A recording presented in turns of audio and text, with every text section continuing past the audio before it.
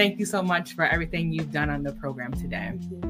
So, our final plan question is What role does prayer play in balancing the demands of motherhood? Role. Ah, prayer is like a navigator. It's like when you are trying to go to, let's say, New Jersey, you have never been there before. You look for your GPS or you go to Google Map to know the direction of where you are going to. So, prayer is so important. So, prayer is a tool. So, you cannot be a child of God and you don't know what is called prayer. So, and what is a prayer? No, prayer is just like a spiritual communion with God. It's like when you're having a communication. Communication is in like three ways. You have to have a sender, you have to have a receiver, and you have to have a feedback. So you can be a sender. You send your your prayer. Your prayer is a message. You send it to God. So God is the receiver. And when your prayer ends, it's going to come back again as a feedback to you. So that's the, it's like a cycle, like a communication uh, model that you have to follow. So how can does prayer play? Prayer pray, every, pray everything in our lives. Even the Bible says in that Luke, it said men ought always to pray and not to faint. You understand? There's no how you can do in this life. Without prayer, you are gone.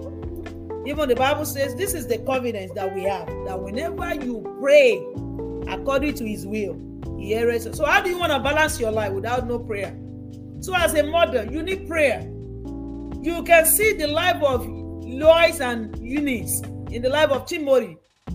They even Paul referred to the parents of uh, the, the mother and the grandmother of Timothy.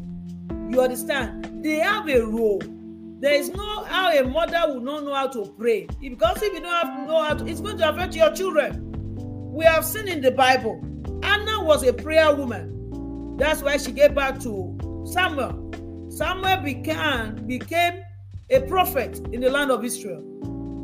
And we have seen many of them in the Bible that they are prayer women. Deborah was a prayer woman now. She prayed. You cannot do the things of the kingdom. Even Esther. Esther was recorded that this woman fasted for three days, dry fasting, no food, no water. And she was able to save the land of Israel, or else they will have been consumed.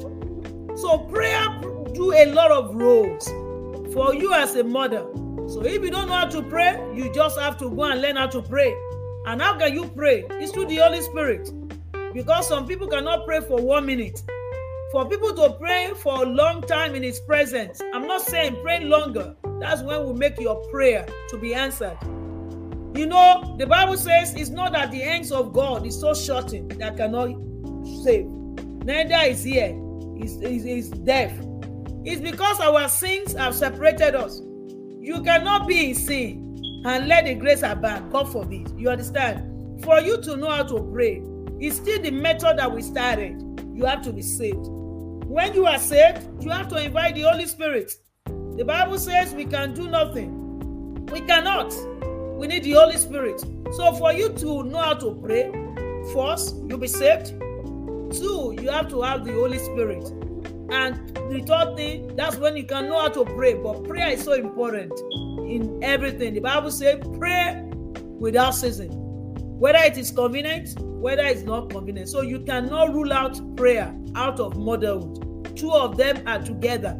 Now, when you are praying now, it's like you are loading your cloud. When the cloud is formed, what is going to happen? The rain will fall.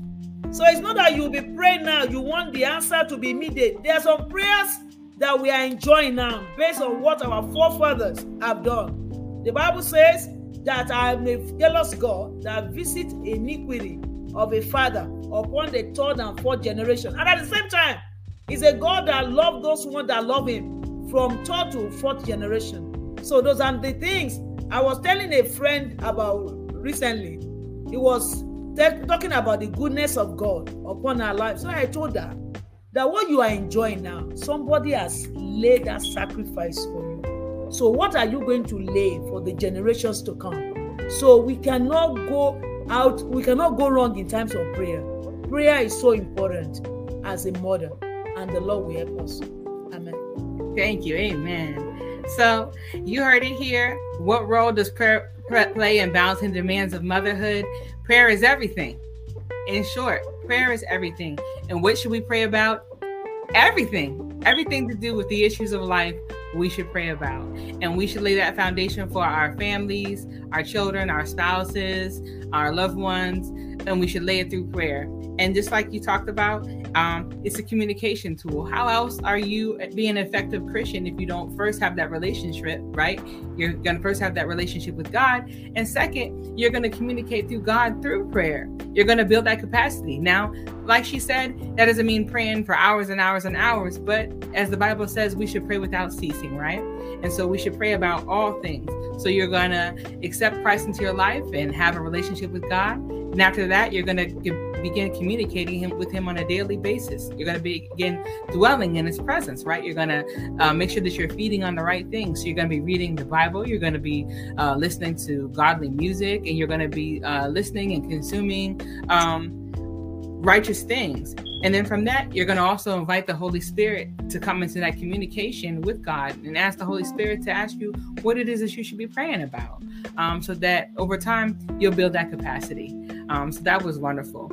Um, just as you said, the prayers that that maybe uh, people in your family, grandmothers and great grandmothers prayed. Now we're reaping the benefits of it, of those blessings, of that time that people spent in relationship and communication with God, so that um, so that we could uh, live righteous lives. And so we should, in turn, do the same thing for our children. We should lay that foundation because the prayers that we pray for our children will affect their lives.